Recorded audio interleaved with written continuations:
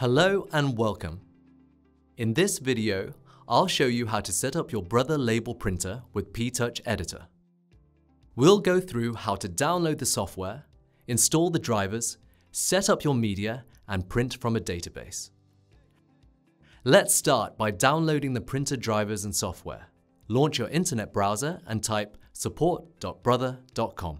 Now you can use the search box to find your printer model and select it from the drop-down menu here. Today I'm using the TD2320 DSA. Alternatively, you can browse by category until you find your exact model. Next, click Downloads. Select your operating system, then click into Printer Drivers.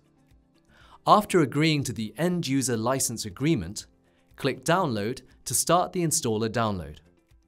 While you're here, also download PTouch Editor, which is Brother's free label editing software. You'll find it under the Editor Tool tab. Once both downloads are complete, locate the installer files and double-click each file to start the installation. Follow the on-screen instructions, which include accepting the license agreement, selecting the model number and print resolution. Today we're going to be printing at 203 dpi. Choosing a connection type, and then finalize the installation.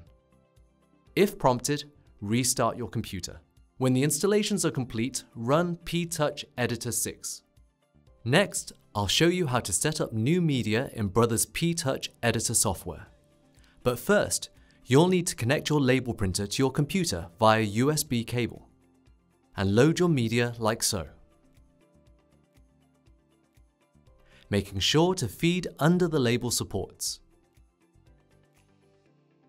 Now with Brothers printer drivers and PTouch Editor installed, we can open a new label within PTouch Editor. Then go to File, Print, More, Paper Size Setup. Click New, then click Auto Media Configuration. This should work out the dimensions, but it's always good to double check it's correct. Enter the name, let's call this Kitchen Label. And the size. This will be 55mm wide by 50mm long. If you are using lots of different media in one printer, it might be good to name the label by application so it's easier to remember. For example, Best Before. When you're done, click Add. This saves the media to your printer. However, if you switch to another printer model, you may need to repeat this setup. Now restart the application to finalize the setup. Back on the PTouch Editor home screen, open the Print Media drop-down menu. Select your new media and you will see the preview update. You are now ready to design your label template and connect a database. Connecting a database allows you to update data fields automatically from a spreadsheet. For this example, I have prepared a database of days till expiry against a list of foods and allergies in a spreadsheet. Brother's solution also allows you to color code items in standalone mode. This is done by adding another column using the exact heading on screen. Then follow this chart to color code your label templates, which can be very useful to quickly identify categories of products. I have also created a label template for kitchen stock rotation labeling, with fields I want to be connected to the database, such as product, allergies, prepared, and use by dates all of which can be added using the insert bar at the top of the screen here. This may need resizing for your particular label, and then formatting using the panel on the right. Next, go to Database, Open, then browse for your database file. After this, you will see your data below the label preview. Select the text field you want to connect. In this case, we'll select the description. Then use the panel on the right to connect the two by using Input Data, select Database field. Now select your database header in the drop-down menu.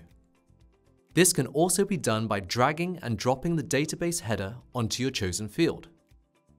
For the dates, we want to have the prepared date match the time of printing, so select the When Printed tick box here.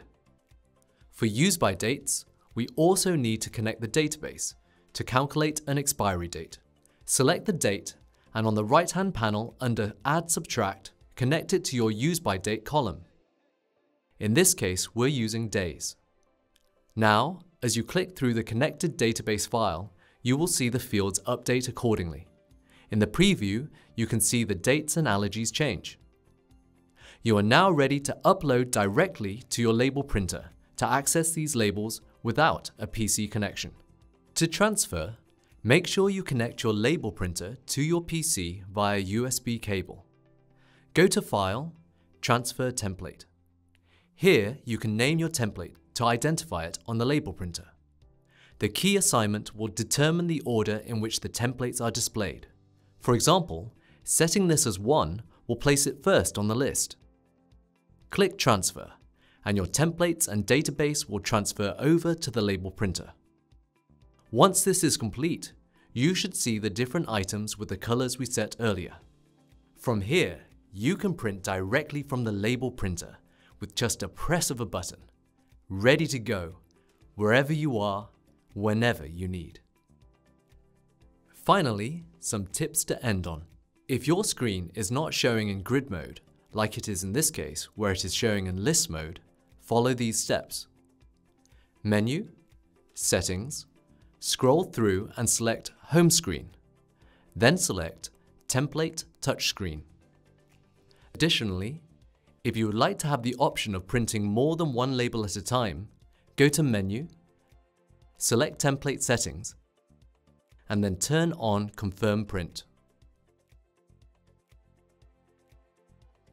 This gives you the option to update the quantity of labels you want to print by using the up and down arrows. This option also gives you a chance to preview the label each time you print by pressing the right arrow. If you would like to make changes to the database file or add new information, you will first need to update the database file, reconnect it to the label template, and then transfer to the label printer again.